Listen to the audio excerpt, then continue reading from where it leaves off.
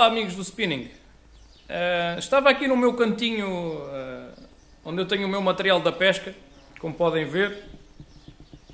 Aqui, okay. É aqui que eu, que eu arrumo o meu materialzinho.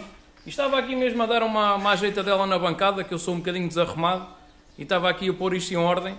E lembrei-me aqui, uh, muito rapidamente, de uma dica que já muitos colegas me têm perguntado uh, como é que eu o faço e, e, acho que, pelo menos para quem está a iniciar, pode ser uma dica importante.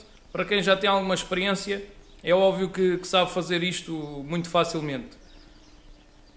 E visto estarmos nós também a passar por uma situação uh, a nível mundial complicada, onde temos agora muito mais tempo para nós, visto que temos de estar, a, estar a, em casa uh, devido ao, ao, ao coronavírus, um, e, e, já agora faço um alerta, malta, tenham paciência, o peixe não acaba. Uh, quando tudo isto passar, nós temos tempo de, de, lá ir apanhar os nossos, os nossos robalinhos, ok?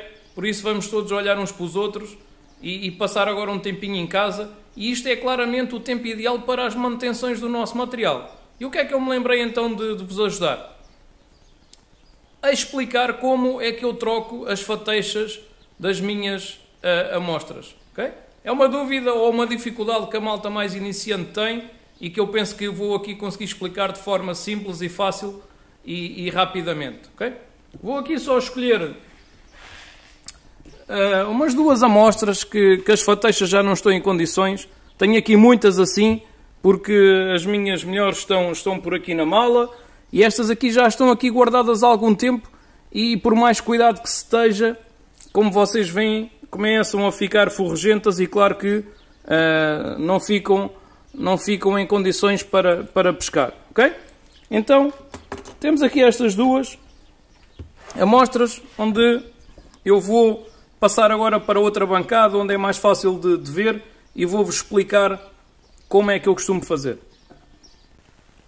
Então, já estamos aqui para então trocar uh, estas fateixas, que como vocês podem ver estão, estão bastante forregentas, e o que é que acontece? Além de ter o perigo de poder partir, os bicos, como vocês estão a ver, também já nem eh, estão em condições e, e vai ferrar com, com maior dificuldade o peixe. Por isso, importante trocarmos as fateixas.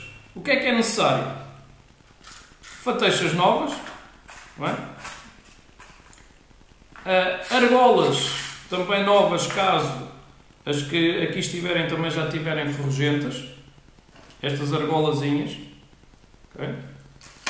E um alicate com, este, com esta forma que vai servir para abrir as argolas de forma fácil. Ok? Vamos lá então. Eu vou optar por trocar uh, tudo e o que é que fazemos com esta pontinha do alicate?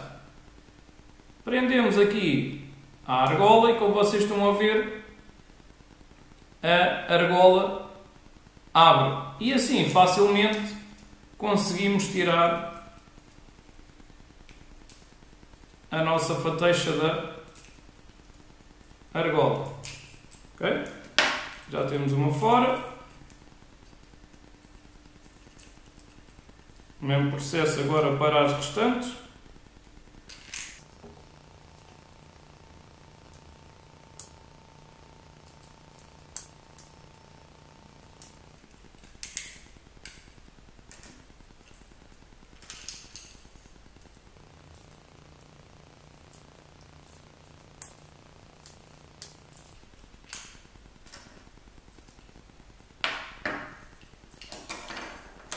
Passar para a outra.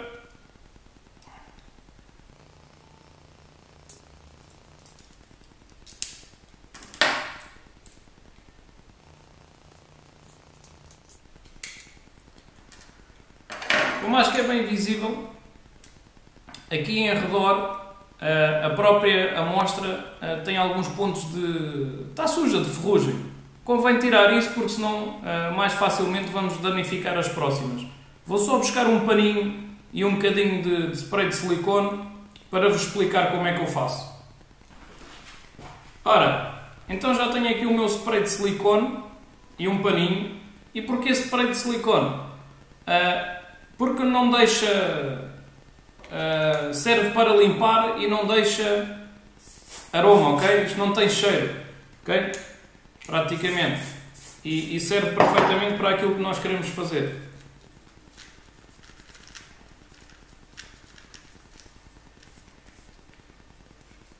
Querem ver? Aquela sujidade da ferrugem acabou toda de desaparecer. Perceber? Fazer o mesmo à próxima.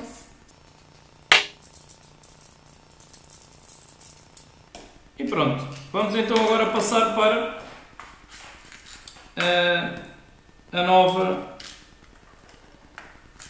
Colocar as argolas. Tirar aqui argolas iguais, novas.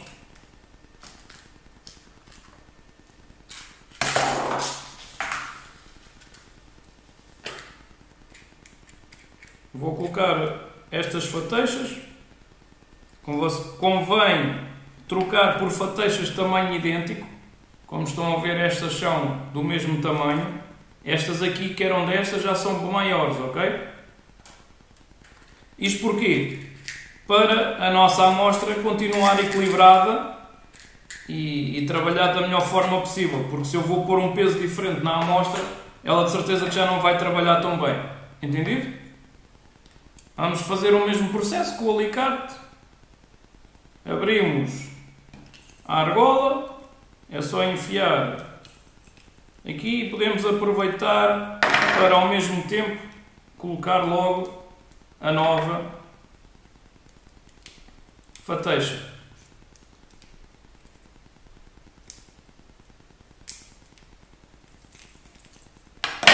Estão a ver?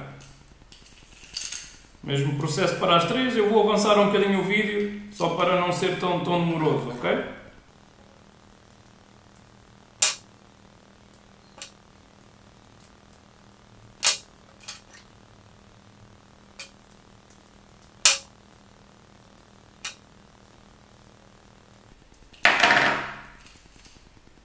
Pronto, esta já está a troca feita e pronta para ir para a água apanhar uns belos robalinhos. Nesta amostra aqui, o que é que eu vou fazer? Porque também têm, têm perguntado uh, como é que eu costumo colocar, se deixo argola, se não deixo. E estou a falar do quê? Fateixas duplas. Está bem? Nós já tivemos uma, uma dica uh, sobre isso mesmo, a falar de fateixas duplas e triplas. Uh, e lá podem, podem ver qual é a vantagem de umas e de outras e quando é que usamos umas e outras? Como é que eu coloco então as fateixas duplas que encontramos em qualquer loja de, de pesca, exatamente como encontramos as triplas? Okay? Fateixa dupla vai trabalhar desta forma. Okay? O que é que eu vou fazer?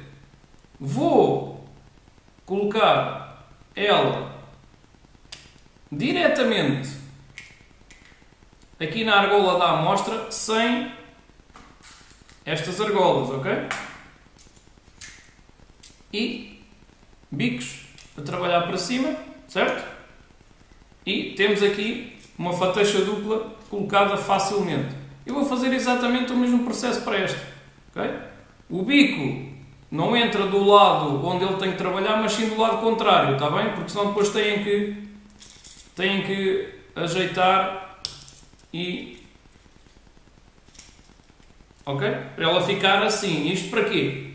Para poder passar nas rochas ou limos e não prender. Entendido, malta? Muito simples. Amostras prontinhas para ir para a água e muito melhor preparadas para apanhar os nossos, os nossos roubalinhos. Ok? Espero que tenham gostado. É, é bem simples e para a malta menos, menos experiente acaba por ser uma, uma, uma dica de certeza útil e, e que vos vai ajudar a, a, tratar do vosso, do vosso material. Então vá malta, uh, cuidem, cuidem de vocês, resguardem-se neste momento agora em casa e, e aproveitem para fazer este tipo de manutenções. Certo? Até à próxima!